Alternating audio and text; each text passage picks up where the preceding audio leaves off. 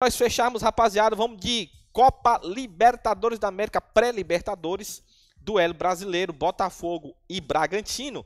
Fizeram um duelo e o, e o Botafogo levou a melhor com um a menos, é, segurou o empate e está classificado. Alô, torcida do Fogão, classificado para fase de grupos Botafogo. Vamos para os gols, melhores momentos, daqui a pouco a gente volta. É só tiro de meta, tentativa do Eduardo. Aí a bola colocada na frente. Dispara por ali quem tenta jogar. Opa! Foi pro chão, ficou pedindo uma falta ali. Era o Capixaba que estava ali? Damião fica dizendo que não fez nada, era o Capixaba, é realmente ele, né? O lateral esquerdo curtindo uma de atacante.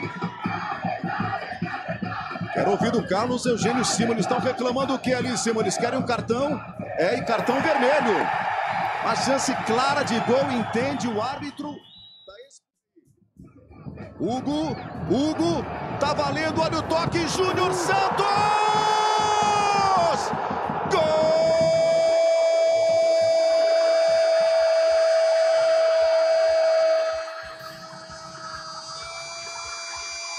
Gol! Ele, ele, ele, ele, só dá ele da Libertadores! Júnior Santos! Ele tem o perfume que a bola persegue. Júnior Santos bate pro gol e vai pro abraço. Um para o Botafogo. Só se ele tiver morto, só se ele pedir para sair. Segura a bola mais uma vez, olha a tentativa. Thalisson, olha o chute e o gol do Bragantino. Gol!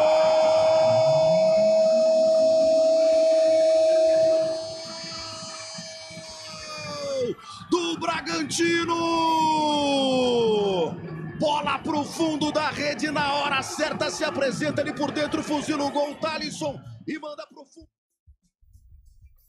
Então tá aí, 1 um a 1 um, e o Botafogo teve jogador expulso, segurou a peteca e tá classificado o Botafogo. Alô, torcida do Botafogo, vai pra fase de grupos o Botafogo, tá bom?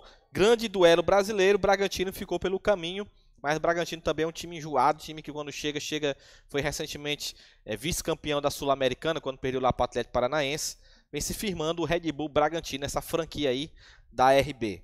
Beleza? Vamos ficando por aqui, obrigado pela audiência, deixa o like.